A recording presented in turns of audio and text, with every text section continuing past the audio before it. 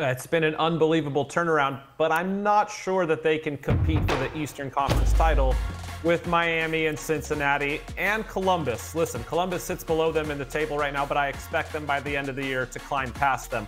I do think they can compete with the two New York teams for the number four seed in the East. If Federico Bernardeschi is playing at his best level like he was this past weekend, and John Herdman gets the rest of the group to rally around him and Insigne the way he has this season, they can compete for that fourth spot. But this weekend will be a really big test against a very good FC Cincinnati team that's on a roll, and you're going to be without Bernardeschi this weekend due to suspension.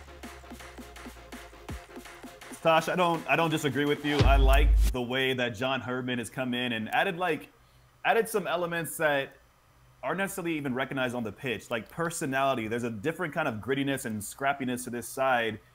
You can take that NYCFC game, all the melee that happened after the game. Although you look at that with a negative light, I kind of view it as a positive because moments like that can sometimes galvanize a group.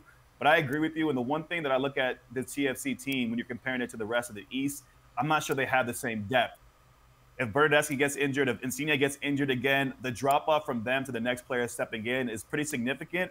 But what right now they're in a good bit of form. If they can continue this, and as you mentioned, this weekend's a big, big matchup for them. But I, I also see them dropping to maybe sixth or seventh in the East, still a playoff spot, but not in the top four. I think success this year, out kicking their coverage, for lack of a better phrase, is getting a home playoff game. I think if if we're really trying to talk about Toronto in the Supporters' Shield race. We're not obviously not paying attention to the roster and the limitations they have for bringing a ton of players coming in this summer. So for John Herdman, make of it what you want from the New York City. That's an offline conversation what happened, what didn't happen, what what may have been. The fact is they're playing much better than they were last year.